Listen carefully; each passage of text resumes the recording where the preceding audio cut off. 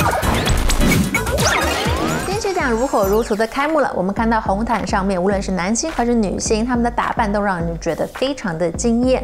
而有号称神话一哥的萧敬腾担任主持人，哇，也是让人家非常的期待他和这些获奖人有什么有趣的互动。现在让我们一起看一下金曲奖的画面。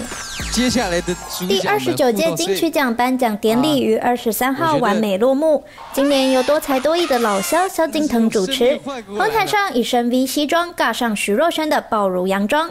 成为红毯两大焦点，萧敬腾也大秀除了唱歌以外的特殊才艺，诚意满满展现出令人耳目一新的典礼形式，也以平均收视四点九的好成绩创下三年来的收视新高。本届竞争相当激烈的歌王歌后，由陈奕迅三度拿下金曲歌王宝座，并夺得年度最佳专辑奖。最佳国语女歌手则由徐佳莹击败劲敌张惠妹，成为本届金曲歌后。后来又马上以心理学获得最佳国语专辑奖。两人各自接连夺下两项大奖时，都表现得难以置信。徐佳莹还兴奋到转身亲吻导演男友比尔贾，大大放闪。谢谢谢，好，致辞时间已结束。我最想说的是，台湾的朋友，台湾金曲奖的评审。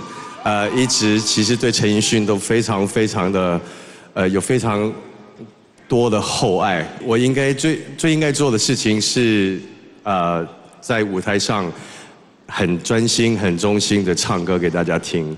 我真的会继续努力，然后我会把今天两个奖的奖金都捐给流浪动物保护相关的机构。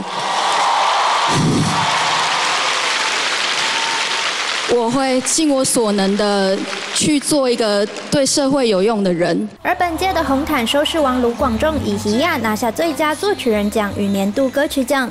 茄子蛋则拿下最佳新人奖与最佳台语专辑奖。音乐樊篱巧妙揉捏新旧元素，从音乐中可以充分感受他们的天分和音乐直觉性。入围六个奖项的 JJ 林俊杰虽然全部共估，但在典礼上演唱的经典歌曲串烧，也算是稍稍安抚了歌迷碎满一地的玻璃心。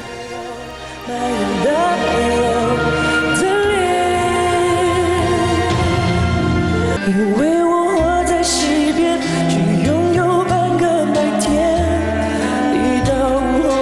surgery.